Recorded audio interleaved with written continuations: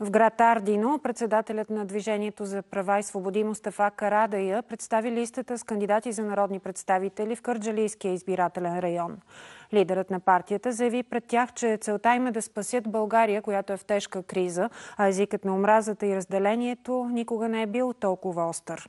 И в Ардино Карадая подчерта двете основни цели на партията – да се пребори с бедността и демографската криза. Пред присъстващите председателят на ДПС Мустафа Карадая заяви, че още от самото си създаване ДПС си е поставило целта да изпълни завета на Левски за чиста република, в която всички са равни.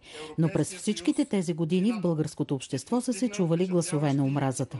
Този език на омразата, разделението и противопоставянето не е бил толкова остър, колкото последните две години. През последните две години омразата разединението и противопоставянето влезе дори в законодателството. След президентските избори в страната да настъпи промяна, а след парламентарните избори тя трябва да продължи, подчерта Карадая. Бедността в съчетание с омразата не води до нищо добро. Затова на 26 март ние трябва да направим така, че да имаме възможността да се преборим първо с омразата, разделението и противопоставянето, за да можем да се преборим с бедността и демографската криза. Истинските патриоти не са тези, които се кичат с това име, каза Хасан Азис, който е втори в листата на ДПС за Кърджели. Да обичаш родината си означава да обичаш и този, който е различен от тебе. Патриотите, които обичат истински